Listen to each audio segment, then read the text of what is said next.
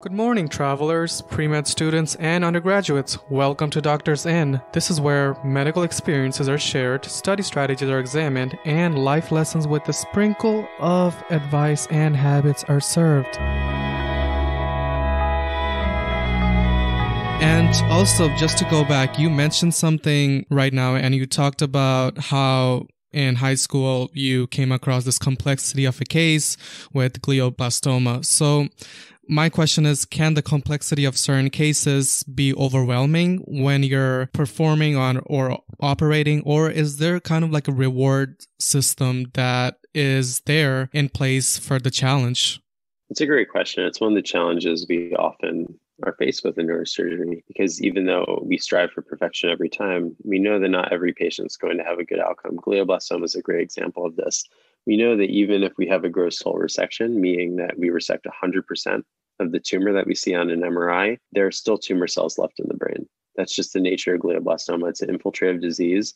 We're never going to remove 100% of the cells, which is why eventually glioblastoma is going to be, I, I truly believe, it's going to be a non surgical disease. It's going to be a disease cured by immunotherapy, by different types of drugs, and uh, from the clinical trials we're currently pursuing.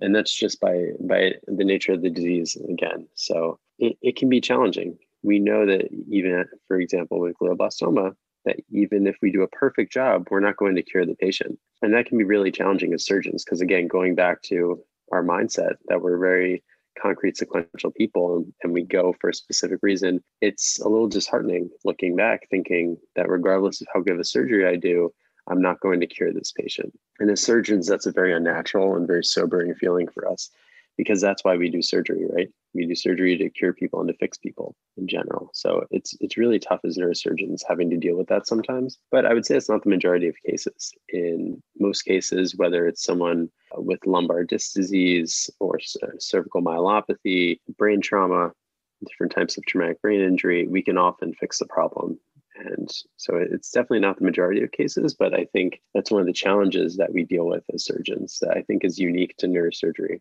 For example, in orthopedics, if someone breaks a bone, you fix the bone, you reduce the fracture, and that's it, right? And that's a perfect surgery. But we're often faced with bigger challenges than that. Right. Does that kind of contribute to potential burnout for surgeons or especially neurosurgeons? And how would you mitigate those feelings? Definitely. It's it's really challenging. I don't know, I wouldn't say that necessarily precipitates burnout in that we know going into a certain surgery and based on what type of tumor we believe it is, really what the expected outcome is. So I think as long as it meets expectations, that doesn't necessarily lead to burnout. I think what leads to burnout more is a lack of gratification, just in general. That if you're working long hours, you don't feel either appreciated or you feel that the work you're doing isn't going to where where you want it to be, or you're being deprived of your hobbies or your your necessities like food, sleep, etc. You know, again, we we know what we signed up for. We know that if we're going to operate on a patient with glioblastoma, we know the expected trajectory, we know the life expectancy, etc. So I don't think necessarily as much of a disease state thing to burnout as much as kind of environmental factors, but it definitely contributes. Right, having patients with bad outcomes, I definitely go home at the end of the day and I'm not feeling as up as I would if you know I treat treat someone with you know, more of a, a benign disease process and I really make a difference. It, it can weigh on you for sure.